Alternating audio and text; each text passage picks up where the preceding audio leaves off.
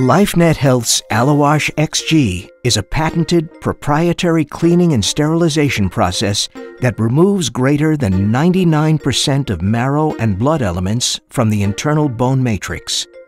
It renders allograft bioimplants sterile without compromising the biomechanical or biochemical properties needed for their intended applications. At LifeNet Health, donors undergo a stringent screening regimen and tissues are recovered under strict aseptic conditions. AlloWash XG's extensive serological testing exceeds industry standards and utilizes the latest lab techniques such as NAT, nucleic acid test. LifeNet Health's state-of-the-art processing facilities are designed to eliminate cross-contamination and minimizes bioburden on musculoskeletal and cardiovascular allograft bioimplants.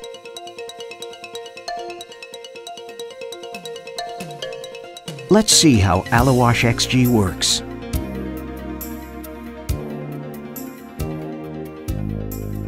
During processing, blood elements and 99% of bone marrow and lipids are solubilized and removed from the tissue.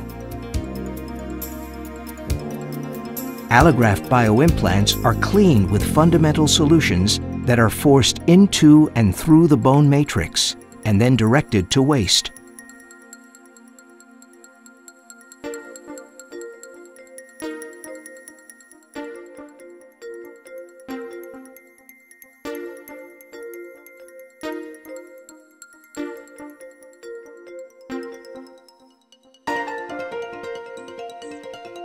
An intensive decontamination, disinfection, and cleaning regimen are applied to the tissue to remove and inactivate viruses, bacteria, and fungi.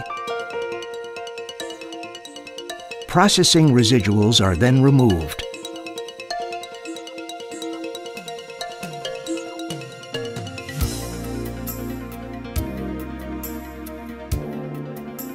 The final AlloWash XG step is terminal sterilization with a controlled and validated dose of gamma irradiation administered at low temperature after the allograft bioimplant is packaged. LifeNet Health allograft bioimplants reach a sterility assurance level of 10 to the negative 6 without compromising biomechanical or biochemical properties for their intended applications. AlloWash XG technology provides a balance between utmost safety and efficacy in order to achieve the best patient outcome possible.